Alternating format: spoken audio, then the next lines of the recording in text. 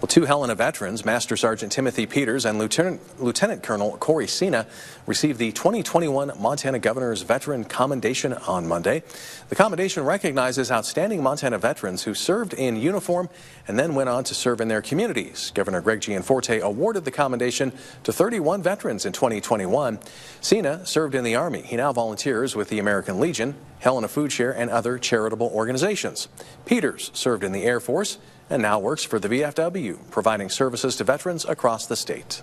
Our veterans have a myriad of challenges. We just got the uh, president just signed the PACT Act into law, which is going to help the VA take care of a lot of our veterans. But we still have a way too high suicide rate that we need to uh, have our communities more understand the, uh, the troubles that are going on inside of the veterans' head just because a person might not act the way you think they should doesn't mean that they don't need help. Some Montana employers likely have a greater appreciation for the National Guard, especially the Air National Guard. It's thanks to what's known as the Boss Lift. MTN's Colter Anstadt was lucky enough to participate and spoke to Guard members and an employer about the importance of the event.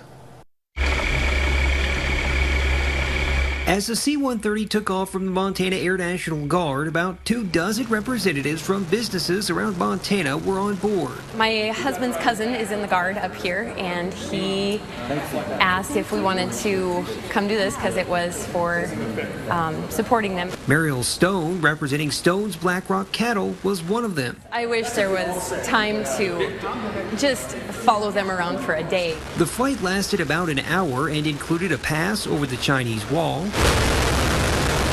getting to watch the cargo ramp lowered midair,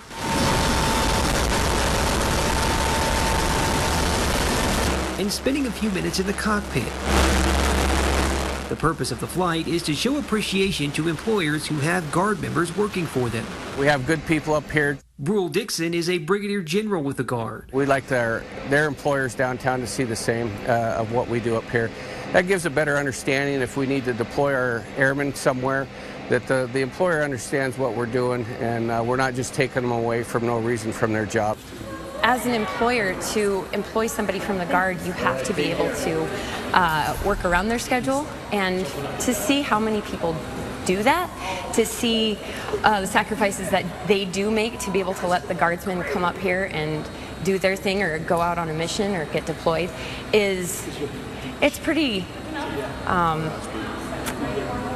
it's pretty neat to see that. For Guard member Captain Tammy Wager, the flight was extra special. One of her bosses, who came all the way from Minneapolis, was on board. It's an amazing opportunity. I've had the chance to do it three other times, and they're all SkyWest employees of my bosses. Not all bosses really know what a guardsman does, or even if there's a guard other than an active duty uh, bases that are out there, and giving them the opportunity to come fly with us and see what we do on a day-to-day basis uh, strengthens our relationship. Along with building relationships, the Boss Lift is also a recruiting tool for the Guard. It's a great recruit recruiting tool because we really want to get our word out there that we are always looking for men and women to join our unit, and we would love for these civilian employers to tell their employees that we exist and that we have a lot of benefits that can really help them. The flight would certainly be a good conversation starter.